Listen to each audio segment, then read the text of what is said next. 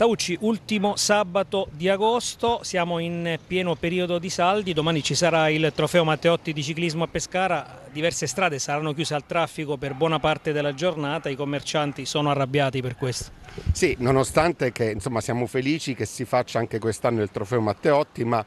pensavamo e sapevamo che tutto venisse svolto di domenica. Eh, questa condizione di fatti brucia eh, l'ultimo sabato di agosto dei saldi, poi verrà eh, tutto, il, tutto, settembre ancora di saldi, però un, saldo, era un sabato importante per quanto riguarda anche i turisti presenti nel territorio, quindi una chiusura delle strade penalizzerà tutto il commercio di Pescara ma anche quello di Montesilvano.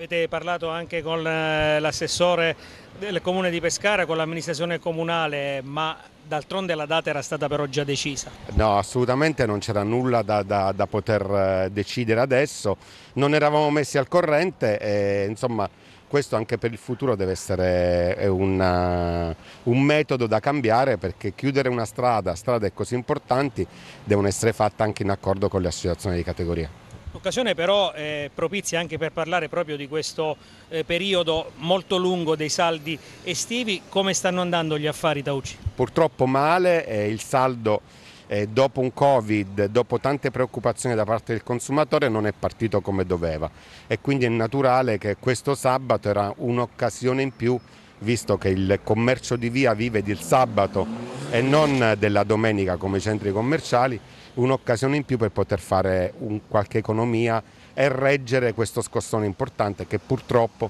produrrà a breve riduzione dei posti di lavoro e chiusure importanti in termini di numeri di attività commerciali.